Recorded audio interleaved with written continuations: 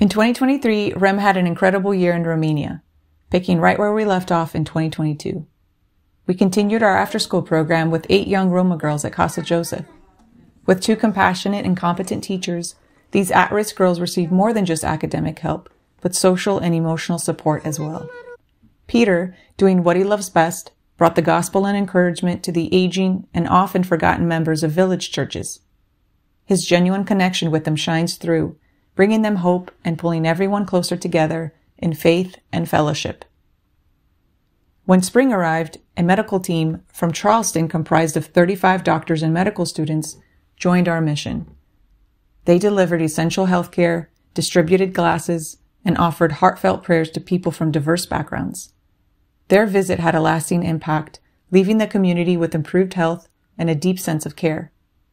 Later, students from Oral Roberts University played a vital role in spreading the gospel in local public schools and lent a hand at a Christian summer camp. Their enthusiasm for sharing faith and joy lingered, leaving a positive mark on the children they interacted with, and they still keep in contact with them via social media. During the summer, we teamed up with your church to build a home for a needy family in the Roma community. The completed house not only provided shelter, but also became a symbol of God's love and care within the community. A large impact was also left on the kids who participated in the Bible lessons, crafts, and activities.